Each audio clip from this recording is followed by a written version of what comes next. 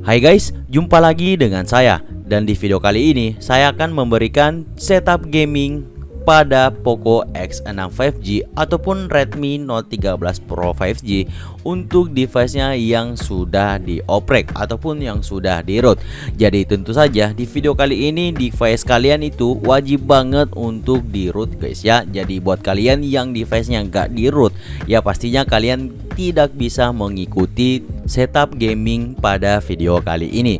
Jadi langsung saja di sini kita masuk ke setup gamingnya. Yang pertama-tama di sini yang perlu kalian perhatikan adalah custom ROM yang kalian gunakan ataupun ROM yang kalian gunakan. Di sini saya menggunakan Hyper OS yang sudah dimodifikasi oleh Xiaomi EU. Jadi untuk ROM sebenarnya ini bersifat opsional, tapi perlu kalian ingat untuk ROM itu tentunya sangat berpengaruh kepada performa.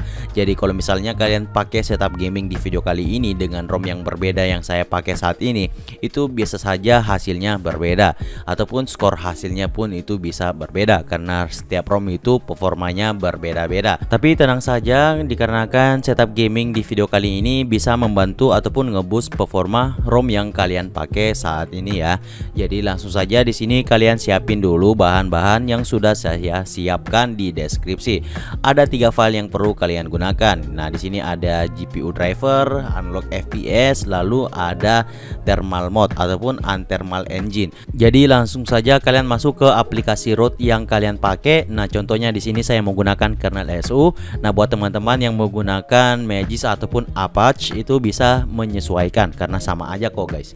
Nah, di sini pertama-tama kita install dulu modulnya. Saya mulai dari driver GPU dulu. Kalau misalnya kalian ingin mulai dari thermal kah atau unlock FPS bebas guys. Intinya di sini kalian pasang tiga-tiga modulnya. Oke di sini untuk modul driver GPU-nya udah selesai. Nah sekarang kita back dulu, jangan ribut dulu ya. Nah di sini kita tambah lagi ataupun install lagi unlock PUBG plus ML. Nah sebenarnya modul ini bukan cuma ML doang sama PUBG, melainkan beberapa game juga ya guys. Dan selanjutnya di sini Anthermal Engine lagi. Kita tunggu, lumayan cepat. Oke, nah di sini tiga-tiganya udah selesai keinstall, langsung saja kita reboot ataupun restart device-nya guys. Dan setelah kita sudah restart ataupun reboot di sini kita cek dulu ya apakah modul tadi itu sudah terpasang dengan baik atau tidak. Nah, cara mengetahuinya itu ya kalian lihat aja tiga-tiganya guys. Kalau misalnya nggak muncul modulnya berarti itu nggak terinstall dengan baik.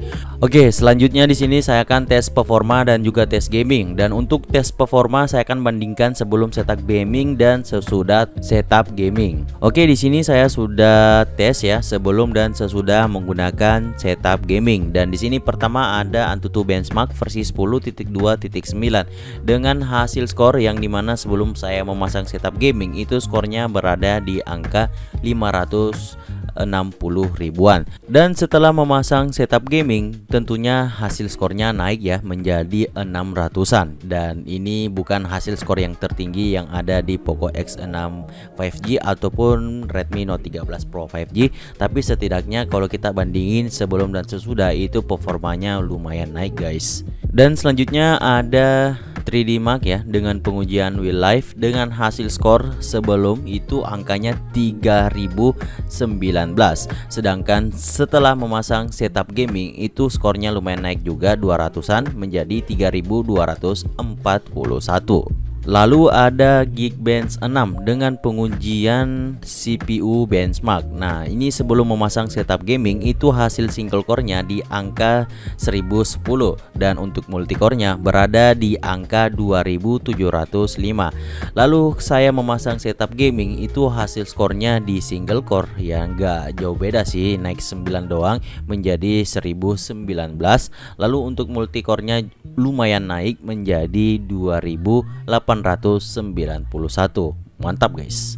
Dan yang terakhir ada CPU throttling dengan settingan 100 Thread Di keduanya saya sudah uji sama-sama 15 menit. Alhasil di keduanya sih sama-sama 90% untuk CPU throttlingnya Cuma kalau kita lihat dari angka gipsnya tentunya berbeda guys ya. Lumayan meningkat. Kalian bisa sendiri lihat ya di antara sebelum dan sesudahnya guys. Ini mantap banget coy Selanjutnya di sini saya akan tes gaming. Sayangnya di sini saya nggak perlihatin uh, untuk gameplaynya, melainkan cuma record FPS. Dan di sini nggak ada perbandingan sebelum dan sesudah. Di sini hanya sesudah setup gaming dan saya ngetes 4 game ini aja. Dan untuk game pertama di sini ada game Genshin Impact dengan settingan grafik rata kanan ataupun highest 60 fps. Ya saya tahu ini sangat maksa tapi saya coba. Alhasil di sini saya ngetes selama 30 menit. Alhasil untuk fps terstabil itu cuma di 33 fps. Ya di sini suhunya juga nggak ngotak udah sangat panas di 48 derajat celcius. Saran saya kalau kalian ingin enak main di 40-an hingga 50 fps ya kalian setting low tapi fps nya di 60 saya jamin itu bisa naik 40 sampai 50 fps guys dan selanjutnya ada game PUBG Mobile dengan settingan grafik smooth 120 fps dan tentunya ini terunlock karena modul tadi ya yang di setup gaming. Dan di sini saya sudah bermain di map living selama ya satu match lah ya dengan fps rata-rata di 81 fps dengan suhu 45 derajat celcius. Ya ini masih sangat berat untuk 90 fps ke atas. Cuma kalau lagi sepi itu bisa stabil kok di 100 ratusan fps ini mantap sih dan selanjutnya ada Honor of King dengan settingan grafik rata kanan ataupun ultra 120 fps. Nah, ini lagi-lagi fps-nya ke unlock dari modul tadi ya, sama dengan PUBG. Dan di sini saya push rank selama satu match, alhasil untuk fps terstabil berada di angka 110 fps dengan suhu yang lumayan hangat di 44 derajat Celcius. Dan ini sangat-sangat stabil guys. Mantap ya. Dan yang terakhir ada Mobile Legend dengan settingan grafik Ultra 120 fps. Nah, ini 120 fps-nya lagi-lagi ke unlock karena modulnya, guys. Jadi langsung saja di sini untuk match yang saya mainin tentunya push rank dengan satu match. FPS rata-rata di 109 fps dengan suhu yang lumayan adem di 42 derajat Celcius. Nah, itulah tadi setup gaming untuk device Poco X6 5G dan juga Redmi Note 13 Pro 5G ataupun device Garnet. Bagaimana menurut kalian? Silahkan tuliskan pendapat kalian di kolom komentar. Oh ya, buat kalian yang nonton video ini beberapa bulan kemudian dan sudah ada custom ROM yang berbasis CLO ataupun AOSPA di device Garnet ini, saya sarankan kalian menggunakan custom ROM tersebut untuk setup gaming ataupun bermain game. Dan sangat disayangkan pas video ini dibuat itu belum ada custom ROM yang berbasis yang saya sebut tadi CLO dan AOSPA.